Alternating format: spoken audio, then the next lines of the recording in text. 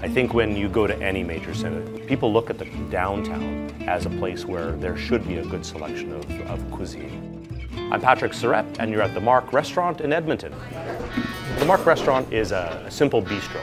So bistro to me means warm and welcoming.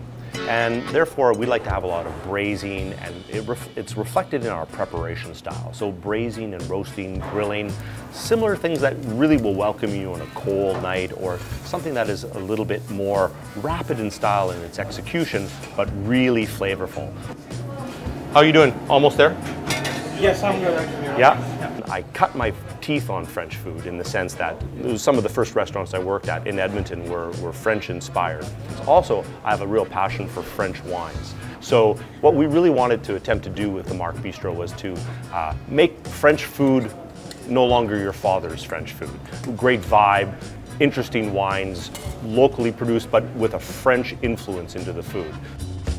We feel that the steak and frites great French cuisine, classic bistro cuisine, and yet we've put a little bit of an Alberta touch by using ribeye. So we're using a Spring Creek Ranch ribeye.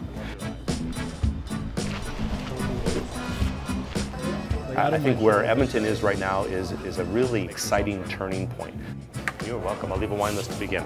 11 of you, if I'm not mistaken. Yeah, yeah. Okay. there's been a change. There's been a shift with regards to uh, who is living in the downtown core and what their expectations are. Come on in, right this way. Let's get you settled. Good. I'll start with this. Come on in. Right this way. Thank you. You're welcome. So, are you managing out there? Are you staying warm? Uh, yeah. Well, we've been downtown for, uh, personally downtown for quite a few years. Lots of people here to support us, lots of business travelers, lots of condominiums. It's a simple French bistro.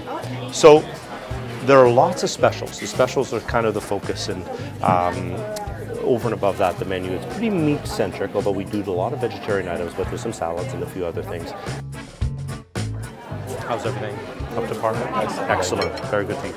The, the restaurant has been uh, a labor of love. People ask you, why do you do this? Why would you spend all this energy and money doing something that has razor thin margins and a low success rate? And um, it's the people.